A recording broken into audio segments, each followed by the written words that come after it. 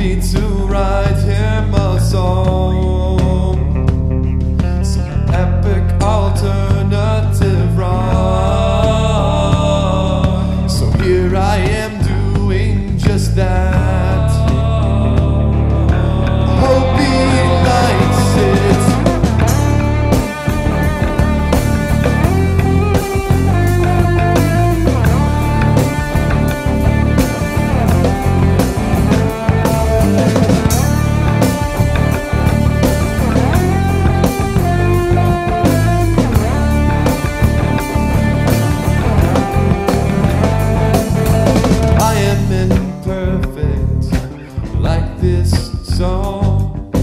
drifting between my job and these videos.